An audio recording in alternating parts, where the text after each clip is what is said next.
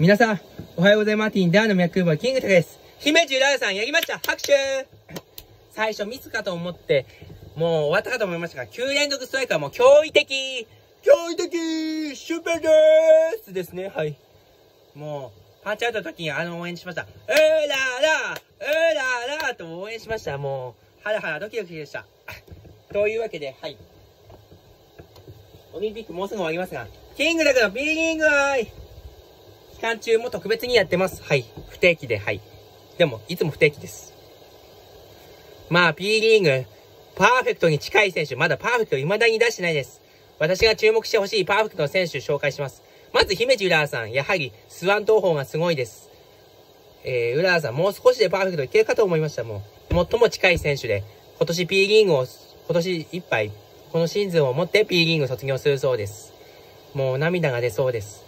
そして、松永ひろみさんは今いませんが、パーフェクトに近い存在。あとは、尾上萌香さん、注目の選手、私にとって、はい。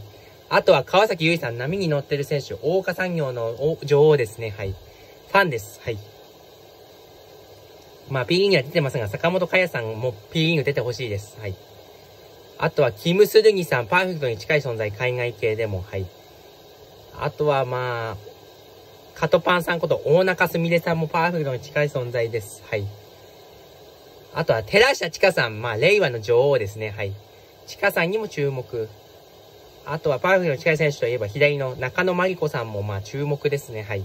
北九州、福岡出身、九州美女です。はい。メガネ系女子。はい。あとは、そうですね。パーフェクトに近い選手といえば、まあ、思い浮かぶのはここまでかな。というわけで、私が選ぶパーフェクトに近い選手でした。バイバーイ。注目の選手でした。バイバイ。